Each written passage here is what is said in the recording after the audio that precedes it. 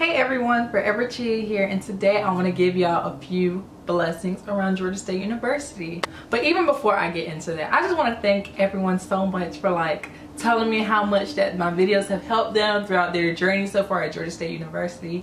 I've met so many people and I'm so happy that y'all are watching and that it's helping you all and I hope that you encourage others to watch as well. So thank you all so much and I hope that y'all continue to share the love. Okay, so getting right into it. So hidden treasures at GSU. So basically what I want to talk about are things that I didn't know about my freshman year at Georgia State that would have helped me like so much.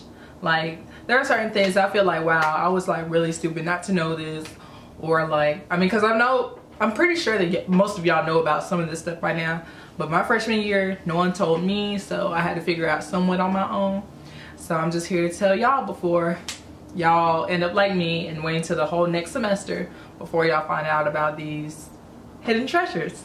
So let's get into it. Okay, so the first hidden treasure I would like to talk about is the bridge in between Student Center, between the Student Center, like Unity Plaza and Library Plaza. So like if you get off the bus, like get off the green route and you're already in front of the Student Center, if you keep walking and go down into like underneath that tunnel, you're instantly on the other side. Like you're over there by the library, you're over there by Langdale, you're over there by Sparks Hall, Classroom South, everything. I personally did not know this my freshman year. So like I would get off the bus and I would like take the long way around. Like I would go around to like where the bookstore is, cross the street, just to get down to um, go to like Langdale and everything. When I all this time I could have been making the class on time just by cutting through that bridge. Like the bridge has saved me so much amount of time. And like I know sometimes like when I'm walking like that way to get to my classes, people are like, yo, where's she going? Why she going underneath that bridge? That's why we're going underneath the bridge, sweetie. Like it's a time saver and like you don't have to go through all that hassle just to get to your class or your destination in time. Another hidden treasure would be the SGA office. So I know that some of y'all have classes, let's say math classes for, for instance, that require you to have blue books for your test. So like my freshman year, I didn't know that like I, did, I needed these blue books to take my math test. So like I just came without, you know, my book.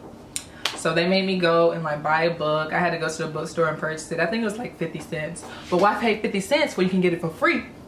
So if you go to the fourth floor of Student Center West, that's where the SGA office is. And they have blue books for free and they also have free Scantrons.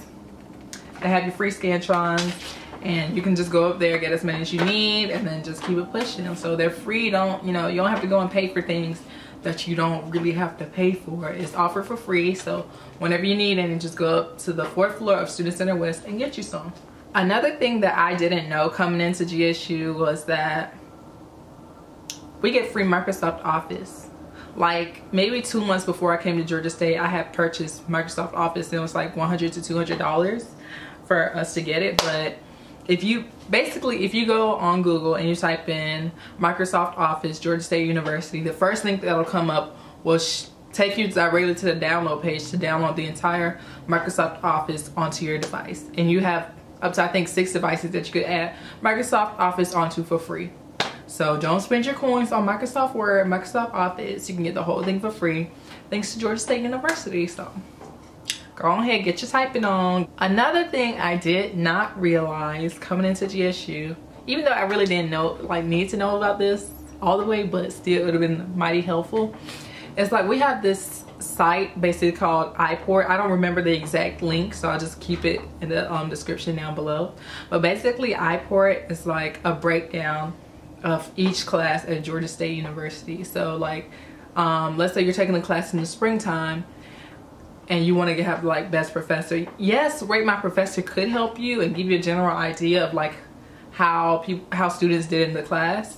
But iPort will give you a more in-depth like breakdown of everyone's grades. So it'll tell you how many people made A's in this class, how many people made B's, C's, D's, F's. Versus rate my professor where some people be like, oh yeah, this is the best professor ever. And then some of them like, oh no, I hate this professor. Instead of doing that, it just gives you like the legit statistics behind it. So like, yeah, everyone could say this professor is great, but still on the thing, majority of the people had B's and C's and you want an A. So you can go back and look and see which professors had like had the most A's in the class and from there you can go ahead and figure out your schedule and make sure that you get your A.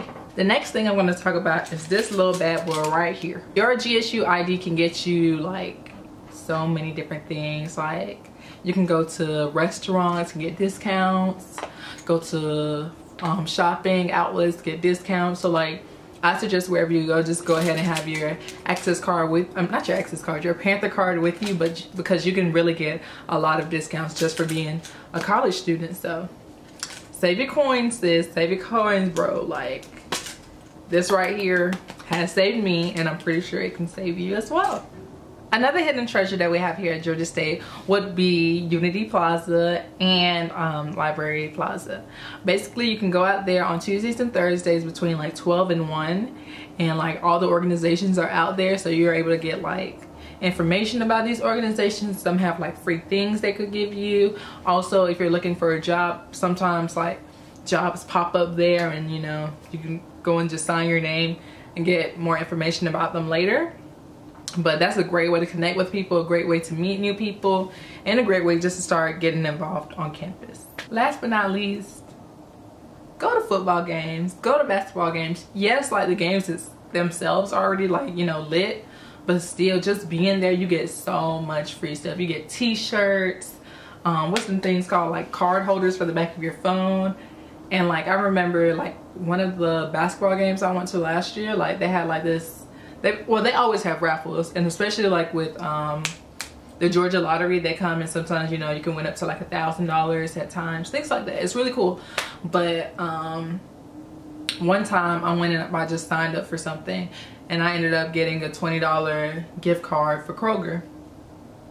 That was gonna pay my next set of groceries you know like free money. Like if you just go around just you know don't don't just you know just completely shut out going to games and stuff because because you just going to games could definitely like get you some stuff like you get you some money paraphernalia and just i mean you could even like win the lottery. Like come on you guys. Like i know y'all need them coins because i need them coins.